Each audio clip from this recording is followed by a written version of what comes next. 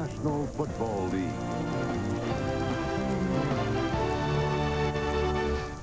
Sponsored by Edge Shave Gel, the ultimate protection for every kind of face. In 2001, a sleeping giant awoke in Chicago.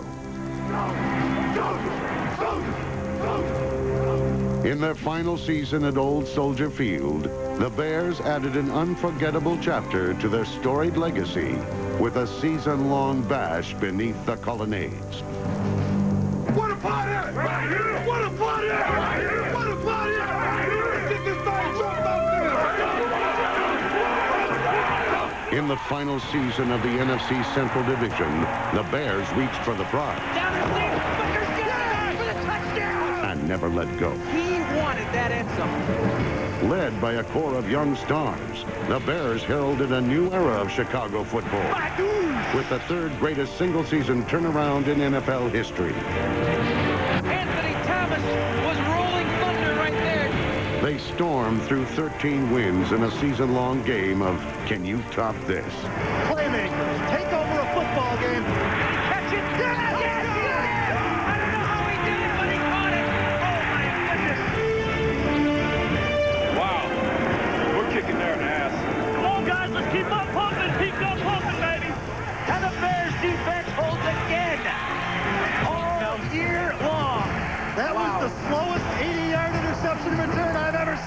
2001 brought a season unlike any other.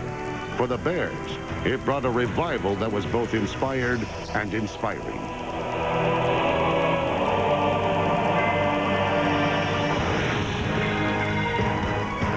They cannot beat us.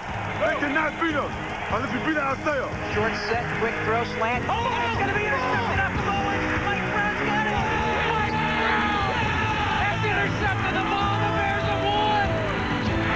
It's going to be a tip ball. He's Allen. He got it. Ball is picked up by Bryan Robinson. Mike is going to score another touchdown. Never give up. Keep fighting. Call on top. Unbelievable. The Bears began the 2001 season at the home of the Super Bowl champion Ravens. Outside their own locker room, little was expected of the Bears. But in this game, it was difficult to tell which team boasted the most feared defense in football and which was coming off a last-place season. The Bears noted their strong performance for one reason. They lost. Something they would not do again for over two months. The streak began a week later when the offense came to life behind quarterback Jim Miller. Over the middle, complete. Marty. One, two. Leaps into the end zone for the touchdown. Fourth quarter touchdowns by Marty Booker and Marcus Robinson gave the Bears their first win against the Vikings in two years. Throwing left side. Marcus Robinson reaches up and grabs it into the end zone for the touchdown. Next for the Bears was a visit to Atlanta. We're going to take it. They don't want to give it to us. We're going to take it. It's our home field. Woo! Draw from center. Throws to Marty Booker. He's going to throw downfield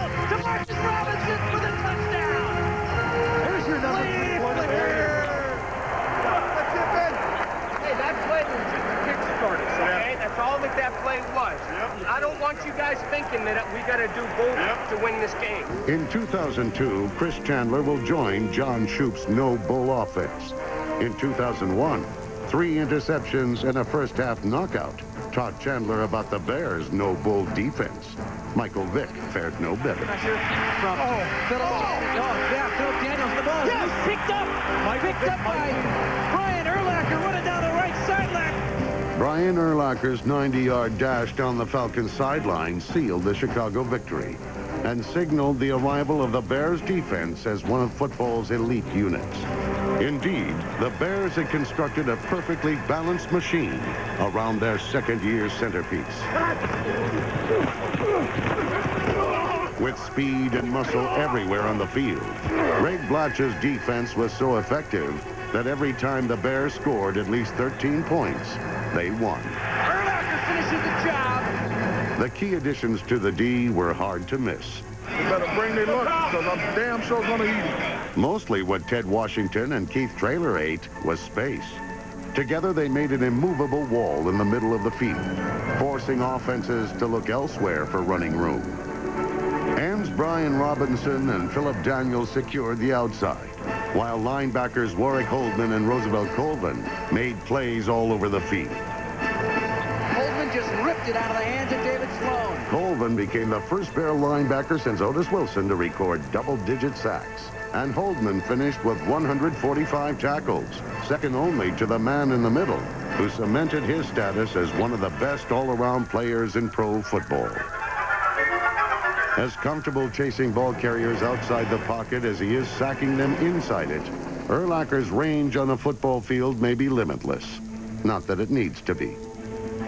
Behind him, cornerback R.W. McQuarters and safety Mike Brown anchored a vastly improved secondary, combining for nearly 200 tackles and eight interceptions. With their team holding on to a tenuous seven-point lead against the Cardinals in Week 5, Brown and McQuarters combined to make the decisive play of the Bears' third straight And, victory. Michael Pittman being oh, fired there by Michael Brown. It pops up to R.W. McQuarters. McQuarters is in a foot race with Jake Plummer to the 20, to the 15, to the 10, to the end zone for the touchdown. And that's the turnover we were asking for. One week after McQuarters' knockout punch, it was the Bears' offense that appeared down for the count when wide receiver Marcus Robinson was lost for the season with a knee injury. But this was the day the Bears unleashed an offensive force, the likes of which Chicago had not seen in over a decade. After a quiet first month in the NFL, Anthony Thomas exploded onto the scene, setting a Bears rookie record with 188 yards rushing against the Bengals. Anthony Thomas looking for running room, and he gets the corner, 35-yard line, 30, trying to outrace Artrell Hawkins, down to the five, to the left and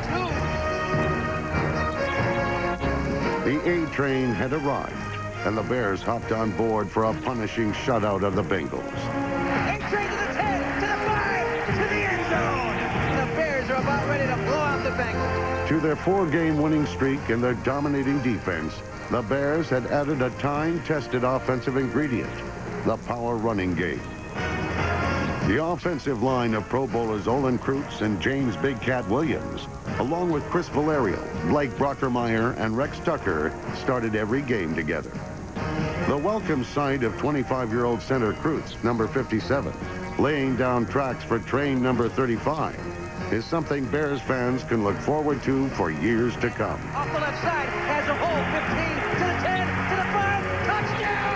With nearly 1,200 yards rushing, Thomas arrived like a comet, a Kansas comet, becoming the Bears' first NFL Offensive Rookie of the Year since Gale Sayers in 1965. Hardly a month into the season, the Bears had discovered something special. With a 4 and 1 record, the Bears returned to Soldier Field to play another resurgent power, the 49ers. It was a game that figured to be the stiffest test of the Bears' young season, a game that turned out to be a test of much more. I ain't leaving this place without a victory. I ain't leaving this place without a victory. Soldiers, soldiers, soldiers, soldiers. Early on, the Bears appeared overwhelmed. And snap the center is, Miller is hit, and the ball is loose, picked up by the 49ers. They're going to run it in. Bryant what Young. the heck It happened was- there? By the midpoint of the third quarter, the Bears trailed by 19, and Jim Miller had left the game with a hip pointer. The door. The Niners might have left just a crack in the door, but Shane Matthews and a couple of Michigan boys pried it open. Hand off Anthony Thomas. Gets some running room. He's to the 10.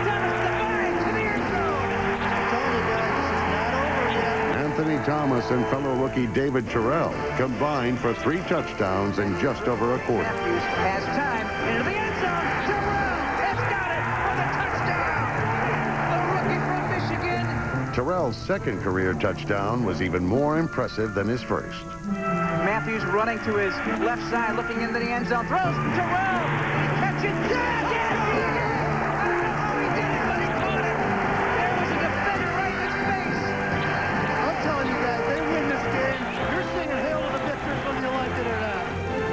26 seconds remaining in the fourth quarter, the Bears had drawn to within a two-point conversion of tying the game. Matthews from under center. The handoff Anthony Thomas puts his head down, and he is in for the two-point conversion. And the Bears have tied this game with 26 seconds to play. They come back from 19 down. After 40 minutes, the game was a blowout.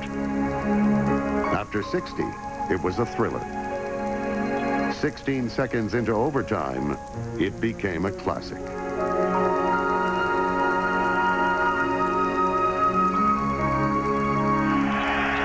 Short set, quick throw, slant. Oh, it's going to be intercepted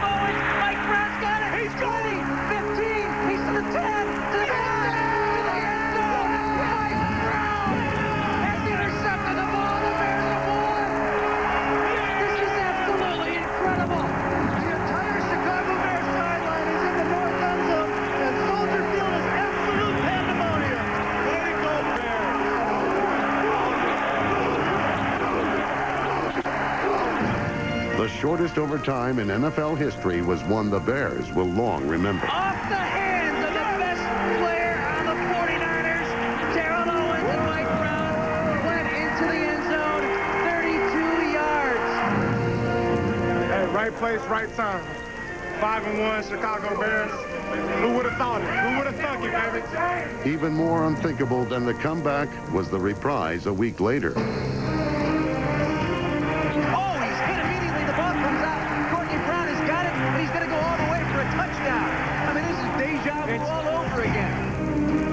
Less than a minute remaining in the fourth quarter, the Browns led by two touchdowns.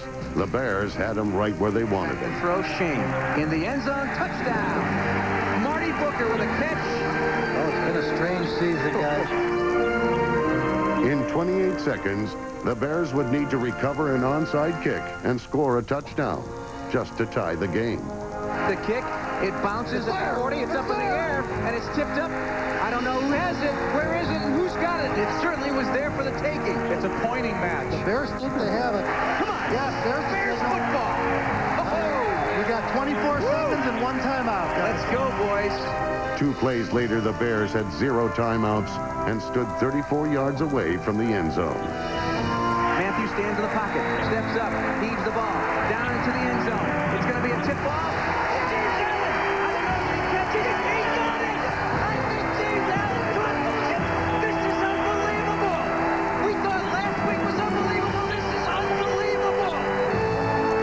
Second straight week, the Bears were headed to overtime. For the second straight week, overtime was Mike Brown's time. Ball is tipped up by Bryan Robinson.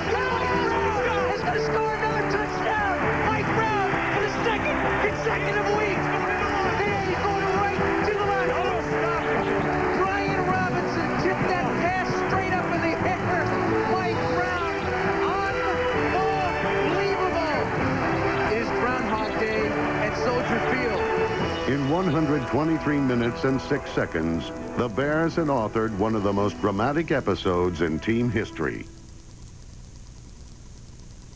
Won six straight games, and they had won over their fans. Now they set out to win a more elusive prize, their first playoff berth since 1994, as Jim Miller returned to lead the Bears in six straight games against division rivals. The absence of Marcus Robinson, Miller found a new favorite target in Marty Booker. In just his third year, Booker emerged as Chicago's most consistent and versatile receiver, leading the Bears in receptions in 11 of 16 games. He finished the year with 100 catches, the first Bear ever to reach that mark, and he led the team with eight touchdowns. Miller to throw right down the seam. Together, Booker and Miller gave the Bears a credible downfield threat, completing eight passes of 25 yards or more. None bigger than those that came against the Bucks in Week 10. The Bucks had won five straight against the Bears in Tampa, but now the Bears were leading the division and they needed a win to stay on top. It was Miller and Booker who made the difference, connecting for three touchdowns. The first, a 28-yard strike, gave the Bears their first lead of the game. The second came early in the third quarter. Play action fake. Miller going up top, down the left sideline. Booker is open. Fingertip catch over the shoulder for the touchdown. On their next offensive play from scrimmage, Miller hit Booker again, this time for 66 yards. Chicago's longest offensive play of the year. Bang, bang, 11 seconds, 66 yards on the deep ball to Book. The Bears had their first win in Tampa in six years, and they were back on top of the NFC Central. But to stay there, the Bears would have to beat the Vikings on the road without Anthony Thomas. Return handoff to Leon Johnson. Into the secondary. Rising to the challenge, James Allen and Leon Johnson, number 32, combined for nearly 150 rushing yards and a touchdown. To the 10 and For the second time in the season, the defense shut down the potent Viking offense.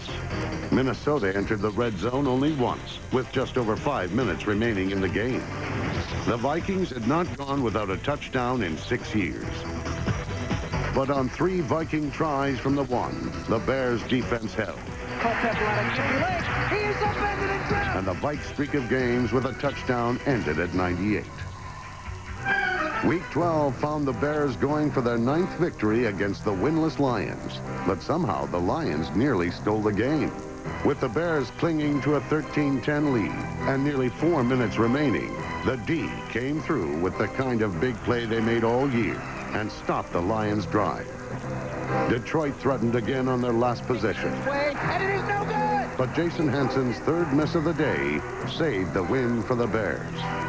It wasn't pretty, but the Bears had won three straight division games and were still in first place. Today's remaining, the Bears were still four wins away from clinching their division. But with a second win against the Bucks, they could secure a playoff berth. Do they realize what's at stake today? We're going for our 10th victory and, and get in the playoffs. The defense met the challenge, forcing four turnovers and holding the Bucks to a field goal.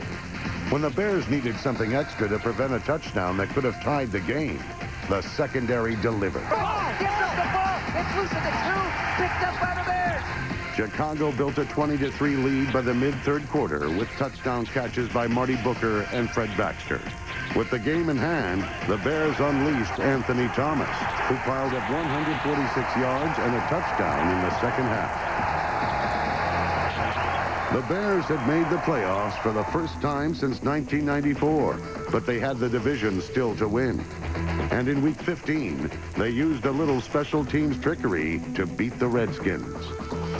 Trailing 13 to 10 in the fourth quarter, the Bears lined up in field goal formation. But punter Brad Maynard took the snap and rolled out, then lofted a 28-yard pass downfield. The unlikely receiver was linebacker Brian Urlacher, who caught the ball and ran it in for the winning touchdown.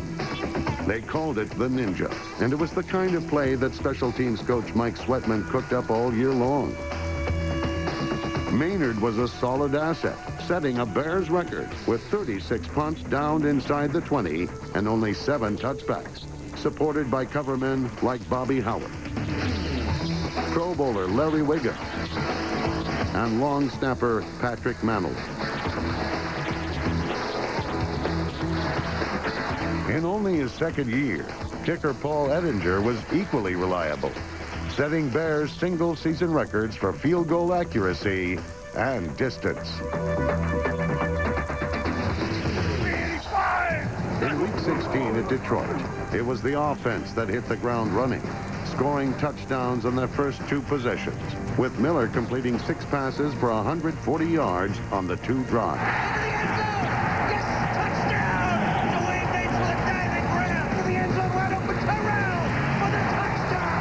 The score was 14 to nothing with five minutes left in the first quarter. After that, it was all defense, with Walt Harris scoring on the Bears' third interception of the day. It's a foot race to the end zone. Touchdown, Walt Harris. The Bears had won home field advantage for their first playoff game, but they had yet to clinch the division. To do that, they would have to beat the Jaguars in the last regular season game at Old Soldier Field. Going into the game, the Bears had already achieved the biggest turnaround in franchise history. But Dick Jauron's team had bigger goals in mind. And the Bear defense played like it, dominating the Jaguars to end the year with the fewest points allowed in the NFL. But what everyone will remember most is Keith Traylor's tip,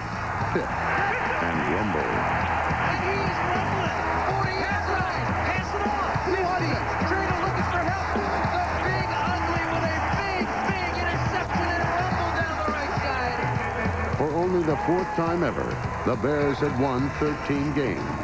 And for the first time in 10 years, they had won the NFC Central Division title. That was a three-hour window, man. We went right through it, huh?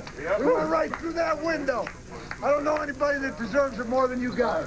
Honest to God, I don't know anybody that deserves it more than you. On January 19, 2002, the Bears said goodbye to old Soldier Field. Mm. And sadly, goodbye to a season that surpassed all expectations but their own. This was not the Bears' day, but a game that meant so much mattered less to the NFL's Coach of the Year than a valiant team that never stopped fighting.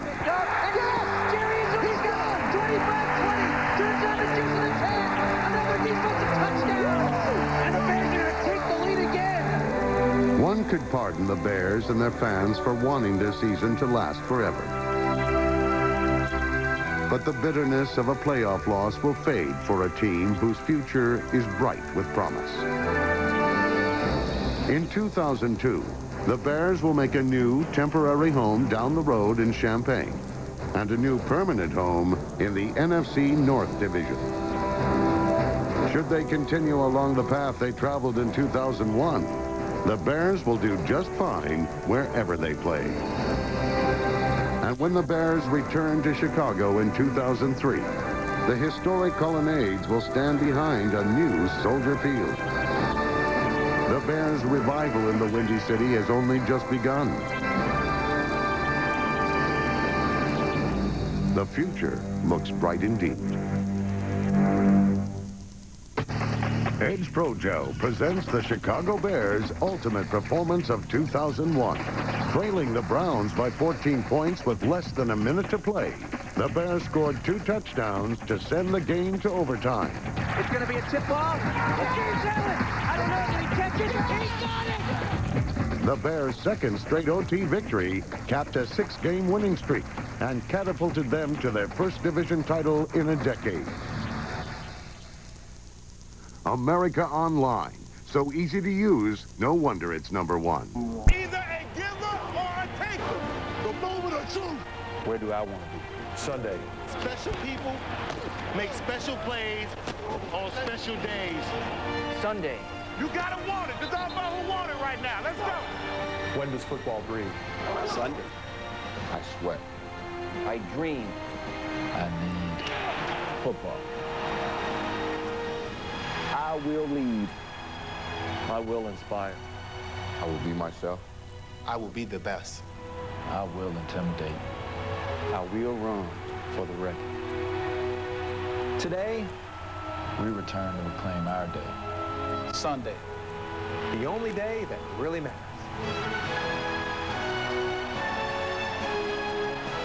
Are you ready? Seven months have passed. Have you missed us? Sunday. Sunday. Sunday. Sunday. Sunday. Sunday. Sunday. The only day that matters. It's our time now.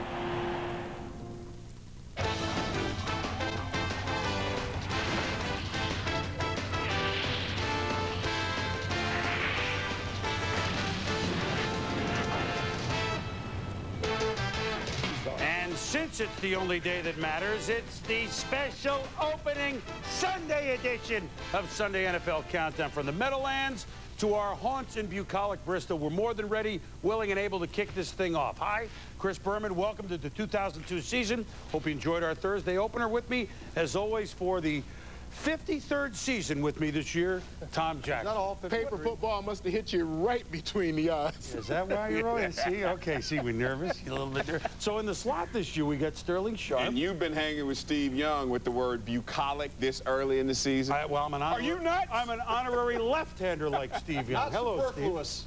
Not superfluous. Super, no, that, that, we, So that we had get both Don't even start. okay? Yeah, we're going to and- sandwich you. And look who's here with us every Sunday this year. Coach Bill Parcells, welcome to Connecticut. I don't know how good my stamina is, but I'll do what I can. Well, I think you're okay, Coach. Hey, you know, we, we okay, one team already sitting there 1-0 for, for three days, which is nice. We look at opening day. We, we looking for some theme today, fellas? Quarterbacks beware because there's going to be an awful lot of pressure via the blitz on all teams that play on this Sunday. There will be a lot of blitz, but I'm looking for a bulletproof offense to start to develop a Super Bowl offense so they don't have to watch our championship team go 1 for 11 on third down in the Super Bowl.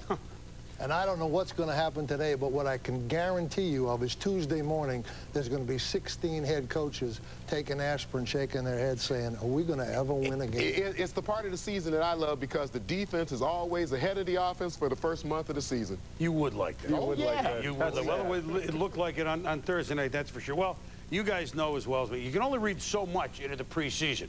But you talk about a story developing in a hurry in the preseason. Steve Spurrier coaching at the Washington Redskins. I mean, damn the torpedoes. We're going to pass it. We're going to move it. We're going to. It began in Japan against the Niners. It went in the air, and when it was done, Washington went 4 and 1 this August, scoring 164 points, by far the most in the league. That's 33 a game preseason. The most eyebrow-raising score of the entire preseason. If you ask me, Redskins 40, Bucks 10 at Tampa. Today, they try it for real against their one-time division foe, now NFC West team, Arizona. Let's move on to FedEx Field and welcome in for the season, Sal Paolantonio. Sal, happy opening day. Opening day to you, Boomer. We've got confirmed delivery of Steve Spurrier here at FedEx Field. Here he is coming off the team bus through the tunnel here to FedEx for his inaugural debut here in Washington. You know, Spurrier's done tried to done a lot the last couple of days to really ratchet down the excitement around him, the attention on him. He stayed in the team hotel last night in Greenbelt with the rest of the team. He had a meeting and basically, in effect, apologized for all the attention that has been focused on him, saying he's been a little bit embarrassed by it. An interesting scene last night at the team hotel. Spurrier and a lot of the coaches arrived at the same time that his former Gators were taking the field against the University of Miami. But at 6 o'clock precisely, there was a team meal. They all left the TV, went to the team meal, then to the team meetings and the offensive and defensive meetings. Luckily, they missed the second half of that game when the Gators got swamped in the swamp. You know, on the football field in the last two preseason games against Pittsburgh and against the Patriots, they were really, uh, really surprised by a lot of the blitzes that those two teams used against them. A lot of disguised defensive schemes that they weren't ready for. Had them scurrying back to the film room, back to the drawing board a little bit to try to redraw up some of the offensive schemes that they will use in the regular season. We should see a lot of Stephen Davis, but you know what? All of this, Boomer, cannot really dim the hype that's really surrounding Spurrier's debut. This is the most anticipated inaugural in Washington since 1992 when another son son of the South came here, the man from Hope, Arkansas. A lot of people are hoping that Steve Spurrier can regain what was lost here in Washington with the Redskins. Well, that, of course, was President Clinton, and they all played Don't Stop Thinking About Tomorrow. You know, Fleetwood Mac, at any rate, that's just an aside. Sal, more from you later. All right, so FedEx Field all year long. Will we absolutely, positively see points scored overnight, or is this going to be an experiment gone awry? Well, I like what Steve Spurrier's done coming to Washington because what he has done, guys, is the focus is not on the players, and he has brought identity, he has brought confidence to a team that's identity and confidence was only in what Stephen Davis was able to bring. I'll, te- I'll tell you what he has. He's got something that every offensive head coach needs. That's a defensive coordinator. Yes, he and does. Three Yes, he great does. Yes, he defensive does. players. Right. Champ Bailey, LaVar Arrington, Jeremiah Trotter. Well, I tell you, he, they, they definitely had him drinking the Kool-Aid down there. You talk to the Redskins, they really believe that Yeah, they're going to score 30 points a game on average. Three really intriguing things about Steve Spurrier. One, is he going to change the hours of the assistant coaches from 6 in the morning to 12 at night to just 9 to 5?